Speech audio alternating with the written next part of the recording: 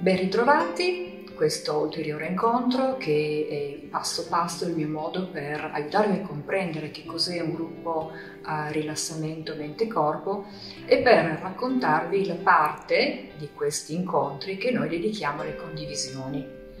Ehm, ora il mio pensiero va al gruppo di persone che si occupano appunto della propria famiglia, quindi a un gruppo di caregiver eh, di nuovo, spesso le persone che hanno questo ruolo fanno fatica a raccontare di, del loro momento perché intorno a loro potrebbero non avere familiari che sono in grado di supportarli, perché magari sono figli o figlie che non hanno nessun altro congiunto con cui poter condividere l'assistenza del genitore.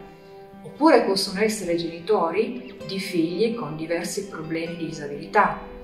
quindi il caregiver spesso ha lui un suo mondo eh, interno che non riesce a condividere.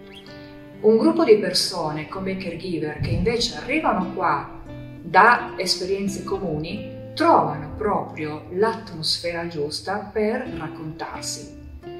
In questi gruppi noi non cerchiamo soluzioni ai problemi di nessuno, questo è chiaro,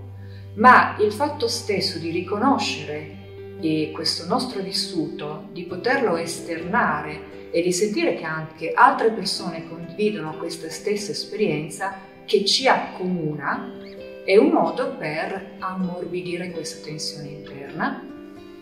è un modo che ci fa anche sentire le strategie che le altre persone in questa stessa condizione hanno trovato per alleviare la fatica ed è soprattutto un modo per non sentirsi soli in questa esperienza così estremi, perché altre persone che io sto incontrando all'interno del gruppo la stanno condividendo con me, noi parliamo una lingua comune e questo in qualche modo ci fa sentire in contatto con altre persone. Grazie.